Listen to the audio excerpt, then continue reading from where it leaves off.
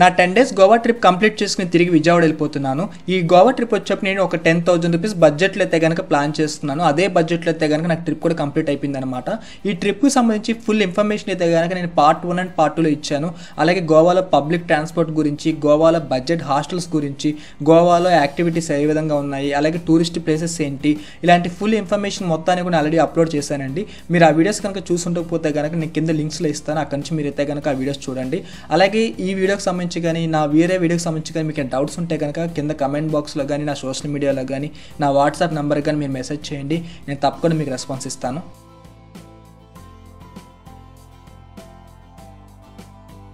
One week Goa ట్రిప్ని అయితే కనుక మీరు విధంగా ప్లాన్ చేసుకోవచ్చండి. ఒక టూ డేస్ వచ్చేప్పటికి సౌత్ గోవాకి మిగతా ఫైవ్ డేస్ వచ్చేప్పటికి నార్త్ గోవాకి అనమాట మీరు నార్త్ గోవా అయితే కనుక పంజిమ్ కలంగడ్ బాగా ఈ ప్లేస్లో అయితే కనుక స్టే చేయడానికి ప్లాన్ చేయండి.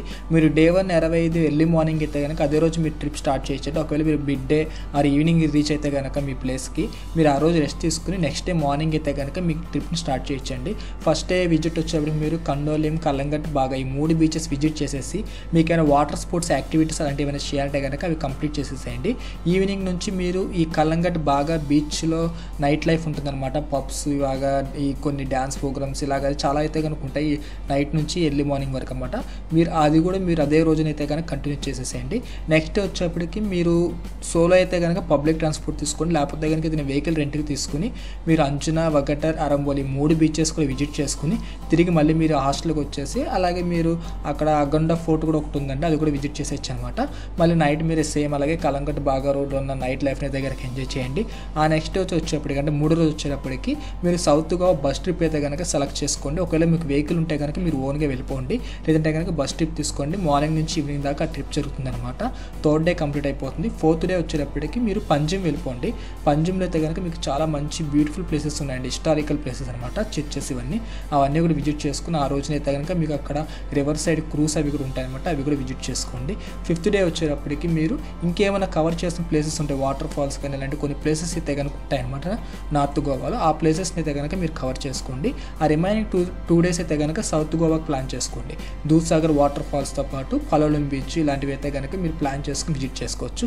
దీనికి సంబంధించిన డైలీ టూర్స్ అలాగే ఈ దూద్సాగర్ వాటర్ ఫాల్స్ ఇలాంటి ఇన్ఫర్మేషన్ మొత్తం నేను ఆల్రెడీ ప్రీవియస్ వీడియోస్లో ఇచ్చానండి. మీరు ఆ ఇన్ఫర్మేషన్ చూడకపోతే కనుక నేను కింద లింక్లో ప్లేలిస్ట్ ఇస్తాను. అక్కడ నుంచి మీరు చూడండి.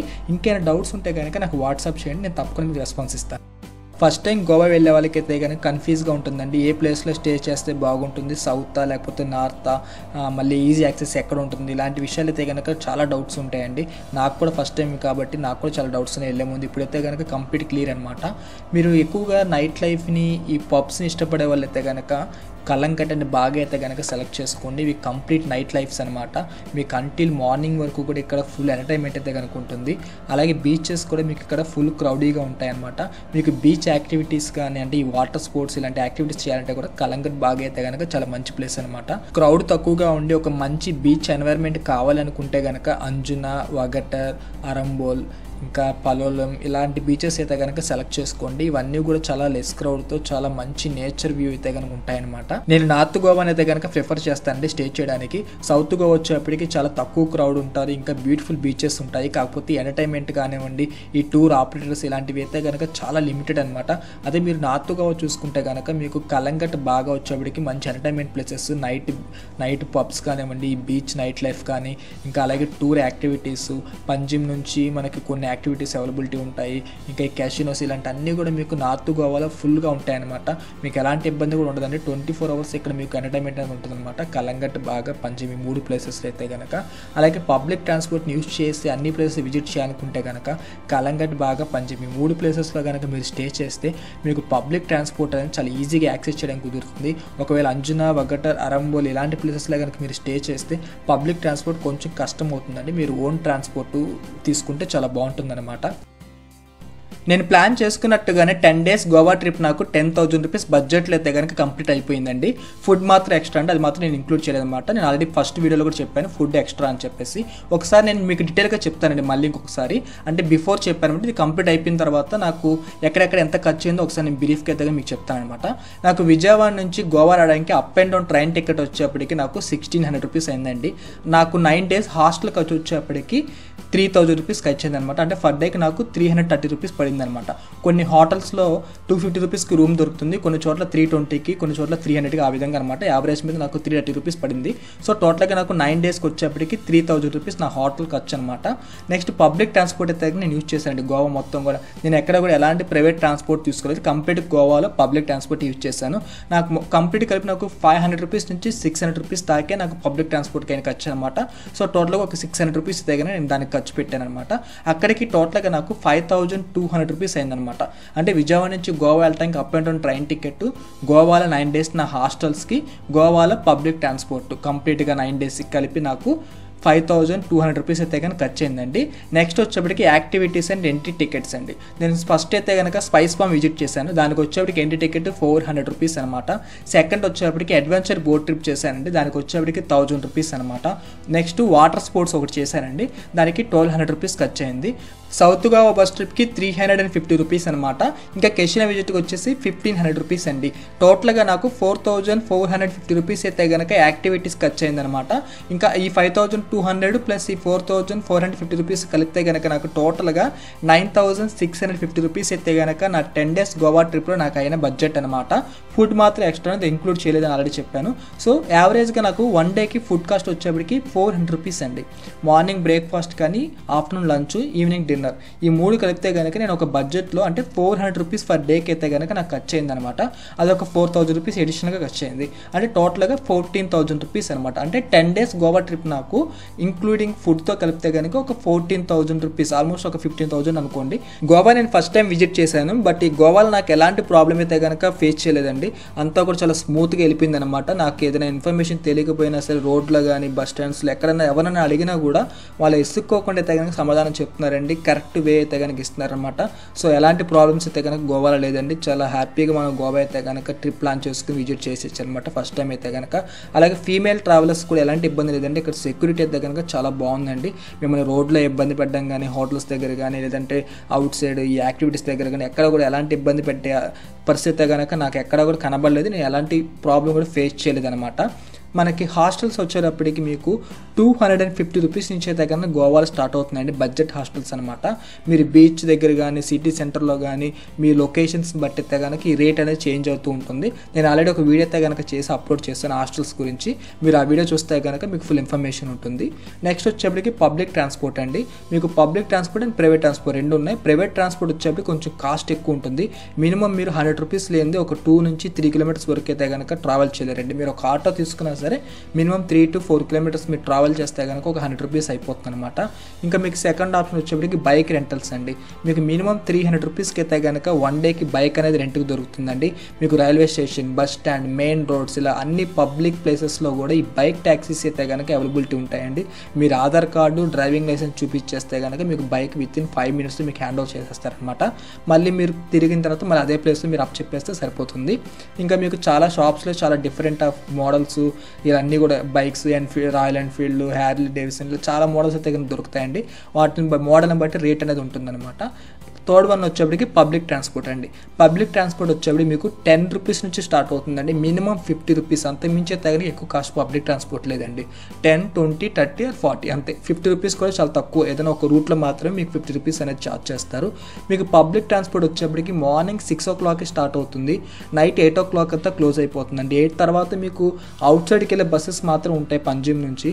బట్ ఈ గోవాలో ఉన్న ఈ లో లోకల్ ప్లేసెస్కి అయితే కనుక బస్ సర్వీస్ మొత్తం ఎయిట్ ఓ క్లాక్కి స్టాప్ అయిపోతుంది అనమాట మీరు ఈ లోపల అయితే కనుక హ్యాపీగా పబ్లిక్ ట్రాన్స్పోర్ట్ ఇచ్చేసుకుంటే చాలా రీజనబుల్ బడ్జెట్లో అయితే కనుక గోవా అంతా కూడా తిరగచ్చండి. ఈ పబ్లిక్ ట్రాన్స్పోర్ట్స్ గురించి నేను ఆల్రెడీ ఒక వీడియో చేసి అప్లోడ్ చేశానండి. మీరు ఆ వీడియో చూస్తే కనుక ఈ గోవాలో పబ్లిక్ ట్రాన్స్పోర్ట్ ఏ విధంగా ఉంటుంది ఒక ప్లేస్ నుంచి ఒక ప్లేస్కి వెళ్ళాలంటే ఎలా వెళ్ళాలి ఎంత కనెక్టింగ్ పాయింట్స్ ఉంటాయి అలాగే ఎయిర్పోర్ట్ నుంచి పంజిమ్కి బస్ సర్వీసెస్ ఇలాంటి పూర్తి ఇన్ఫర్మేషన్ అయితే కనుక నేను ఆ వీడియోలో ఇచ్చానండి. కింద లింక్స్లో అయితే కనుక ఇస్తాను మీరు అక్కడి నుంచి చూడండి. నెక్స్ట్ వచ్చేటప్పటికి యాక్టివిటీస్ అండి. గోవాలో నేను చేసిన యాక్టివిటీస్ వచ్చేటప్పటికి అడ్వెంచర్ బోట్ ట్రిప్ ఒకటి వాటర్ స్పోర్ట్స్ ఒకటి ఇంకా సౌత్ గోవా బస్ ట్రిప్ అలాగే డెల్టిన్ జాక్ కెషనో విజిట్ ఒకటి కంప్లీట్ చేశాను అనమాట ఇవన్నీ ఇవన్నీ కూడా నేను చాలా రీజనబుల్ బడ్జెట్లోనే కంప్లీట్ చేసేసానండి. దానికి సంబంధించిన ఇన్ఫర్మేషన్ కూడా వీడియో చేసి అప్లోడ్ చేశాను. దాని లింక్స్ కూడా కింద నేను ఇస్తానండి. అక్కడ నుంచి అయితే కనుక మీకు చూస్తే ఈ యాక్టివిటీస్ ఎంత తక్కువ బడ్జెట్లో అంటే అడ్వెంచర్ బోట్ ట్రిప్ వచ్చేప్పుడు నేను థౌజండ్ రూపీస్లో కంప్లీట్ చేశాను. వాటర్ స్పోర్ట్స్ వచ్చేప్పటికి ఫైవ్ ఇన్ వన్ పారాస్లైడింగ్ ఇవన్నీ కలిపి నేను ట్వెల్వ్ హండ్రెడ్ రూపీస్లో కంప్లీట్ చేశాను.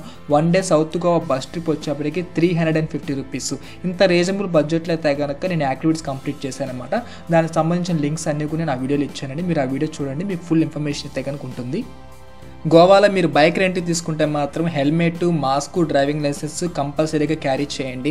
పోలీస్ వాళ్ళు ఏ టైంలో అయినా సరే చెక్ చేస్తారండి. Midnight twelve o'clock కూడా మేజర్ ప్లేసెస్లో వాళ్ళు బండి ఆప్ అయితే కనుక చెక్ చేస్తారు. వాళ్ళు ఫస్ట్ అడిగేది డ్రైవింగ్ లైసెన్స్ అనమాట తర్వాత నైట్ టైం అయితే కనుక డ్రంక్ అండ్ డ్రైవ్ చెక్ చేస్తారు. లేకపోతే కనుక లైసెన్స్ చెక్ చేసి పంపించడం జరుగుతుంది. గోవా పోలీసులు చాలా ఫ్రెండ్లీగా ఉంటారండి ఎలాంటి ఇబ్బంది లేదనమాట అలాగే మీరు బైక్ రెంట్తో పాటు కార్ రెంట్ కూడా అవైలబిలిటీ ఉంటుందండి. కార్ వచ్చేటప్పటికి మీకు ఫిఫ్టీన్ హండ్రెడ్ రూపీస్ పెడితే కనుక ఒక మంచి కండిషన్ ఉన్న కార్ అయితే కనుక మీకు రెంట్కి వస్తుంది. బైక్స్ వచ్చేప్పటికి త్రీ హండ్రెడ్ రూపీస్ నుంచి స్టార్ట్ అవుతాయి అనమాట మీకు చాలా షాప్స్ అయితే కనుక అవైలబిలిటీ ఉంటాయండి. మీరు ఒక నాలుగైదు షాపులకి వెళ్ళి బార్గింగ్ చేస్తే ఒక మంచి రేట్కి అయితే కనుక మీ కార్ కానీ బైక్ కానీ రెంట్కి దొరుకుతుంది అనమాట గోవాలో ఫుడ్ కాస్ట్ వచ్చేటప్పటికి కలంగట్ బాగా ఏరియాలో చాలా ఫుడ్ స్టాల్స్ ఉండడం వల్ల అక్కడ మనకి రీజనబుల్ రేట్ అనే ఫుడ్ అనేది అవైలబిలిటీ ఉంటుందండి. అదే మన అంజునా కానీ వగటార కానీ అరంబోలు ఇంకా సౌత్ గోవా సైడ్ వెళ్తే కనుక మనకి ఫుడ్ స్టాల్స్ చాలా తక్కువగా ఉంటాయి అనమాట లిమిటెడ్ అనమాట అందుకనేసి కొంచెం ఈ ఫుడ్కి అయితే కనుక కాస్ట్ ఎక్కువ ఉంటుందండి. బీచ్లో కూడా ఫుడ్ కాస్ట్ అనేది ఎక్కువ ఉంటుందన్నమాట. మీకు కలంగట్ బాగా దగ్గర అయితే కనుక ఉడిపి హోటల్స్ చాలా ఉంటాయండి. చాలా టేస్టీగా ఉంటాయన్నమాట ఉడిపి హోటల్స్ అయితే కనుక మీకు అక్కడ ఉడిపి హోటల్స్లో టిఫిన్ వచ్చేటప్పటికి ఇడ్లీ ఉప్మా వచ్చేప్పటికి థర్టీ రూపీస్ ఉంటుంది అనమాట మీకు దోశ వచ్చేటప్పటికి ఫార్టీ రూపీస్ నుంచి ఎయిటీ రూపీస్ మధ్యలో ఉంటుందన్నమాట. మీరు తీసుకున్న దోశని బట్టి అనమాట అలాగే మీకు veg thali fish thali chicken biryani అయితే కనుక అవైలబిలిటీ ఉంటాయండి. ఉడిపి హోటల్స్లో వెజ్ థాలీ వచ్చేప్పటికి మీకు హండ్రెడ్ రూపీస్ ఛార్జ్ చేస్తారండి. రైస్ రెండు పుల్కా ఒక రెండు మూడు కర్రీస్తో పాటు బటర్ మిల్క్ కూడా ఇస్తారనమాట మీకు బయట రెస్టారెంట్లో వచ్చేప్పటికి veg thali one twenty rupees నుంచి స్టార్ట్ అవుతుంది అనమాట టూ హండ్రెడ్ రూపీస్ దాకా ఉంటుంది. మీకు అందులో కూడా రైస్ రెండు చపాతీ ఒక రెండు మూడు కర్రీస్ బటర్ మిల్క్ ఈ విధంగా అయితే కనుక ఇస్తారండి. ఫిష్ థాలీ వచ్చేప్పటికి రైస్ ఫిష్ కర్రీతో ఇస్తారనమాట మీకు చికెన్ బిర్యానీ వచ్చేటప్పటికి రోడ్ సైడ్లో చాలా స్టాల్స్ ఉంటాయండి హైదరాబాద్ దమ్ బిర్యానీ అలాగా రకరకాల పేర్లు అయితే కనుక ఉంటాయన్నమాట. మీకు వన్ ట్వంటీ రూపీస్ నుంచి అయితే కనుక చికెన్ బిర్యానీ స్టార్ట్ అవుతుందండి. టేస్ట్ అయితే కనుక పర్వాలేదండి. తినడానికి అయితే కనుక ఎలాంటి ఇబ్బందులు బాగానే ఉంటుందన్నమాట. మీకు బా కలంగట్ బాగా వెళ్తే కనుక చాలా రీజనబుల్ రేట్లో దొరుకుతాయండి. అదే మీరు ఇంకొంచెం అవుట్ సైడ్కి వెళ్తే కనుక ఫుడ్ కాస్ట్ కొంచెం ఎక్కువ ఉంటుంది అనమాట దీంతో కంపేర్ చేసుకుంటే. గోవాలో లిక్కర్ కాస్ట్ వచ్చేప్పటికి చాలా రీజనబుల్గా ఉంటుందండి. మన మన స్టేట్తో కంపేర్ చేసుకుంటే చాలా తక్కువ అనమాట ఒక బీప్ టిన్ వచ్చేప్పటికి ఇక్కడ సిక్స్టీ రూపీస్ అండి మినిమం అనమాట starting seven fifty ML six hundred ML ఆ రేంజ్లో ఉంటాయన్నమాట. సిక్స్టీ రూపీస్ స్టార్ట్ అవుతుంది బ్రాండ్ని బట్టి. ఇంకా మీకు ఆల్కహాల్స్ అంటే కొంచెం విస్కీ రమ్ము వైన్ ఇవన్నీ వచ్చేప్పటికి కూడా రీజనబుల్ రేట్లో ఉంటాయండి.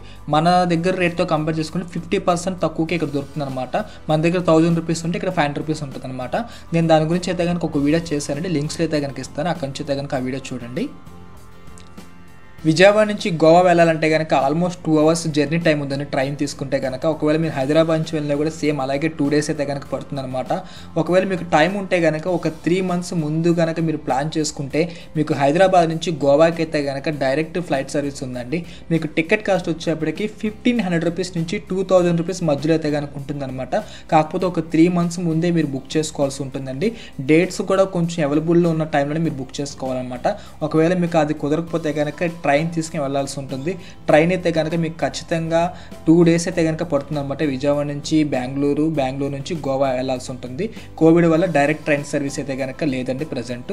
అలాగే one week Goa trip plan చేసుకుంటే కనుక మీకు ఖచ్చితంగా టెన్ థౌజండ్ రూపీస్ అయితే కనుక ఖర్చు అవుతుందండి. హోటల్కి మీ ఫుడ్కి ఏదైనా చిన్న చిన్న యాక్టివిటీస్ అలాగే ట్రాన్స్పోర్ట్ ఇవన్నీ కలిపితే కనుక ఒక టెన్ థౌసండ్ రూపీస్ అవుతుంది అనమాట ఒక పర్సన్కి ఒకవేళ కపుల్స్ కానీ ఫ్రెండ్స్ కానీ ఒక టూ పర్సన్స్ వెళ్తే కనుక మీకు ఆల్మోస్ట్ ఒక ఫిఫ్టీన్ థౌసండ్ నుంచి సెవెంటీన్ థౌసండ్ రూపీస్ మధ్యలో అయితే కనుక వన్ వీక్కి గోవాకి అయితే కనుక ఖర్చు అవుతుందండి. నా ten days Goa trip complete చేసుకుని విజయవాడకి అయితే కనుక రీచ్ అయిపోయాను. నా గోవా ట్రిప్ వాళ్ళలో మీకు కావాల్సిన ఇన్ఫర్మేషన్ ఇచ్చాను అయితే కనుక అనుకుంటున్నాను. ఇంకా ఎడిషనల్గా ఏదైనా ఇన్ఫర్మేషన్ కావాలంటే కనుక నా సోషల్ మీడియాలో కానీ నా వాట్సాప్ కానీ మెసేజ్ చేయండి. నేను తప్పకుండా మీకు ఇన్ఫర్మేషన్ అయితే కనుక షేర్ చేసుకుంటాను. అలాగే ఈ వీడియో కనుక నచ్చితే లైక్ చేయండి షేర్ చేయండి. నా ఛానల్ కనుక మీరు ఫస్ట్ టైం చూసినట్టయితే కనుక సబ్స్క్రైబ్ చేసుకుని సపోర్ట్ చేయండి. Thank you for watching travel with స్టేట్యూ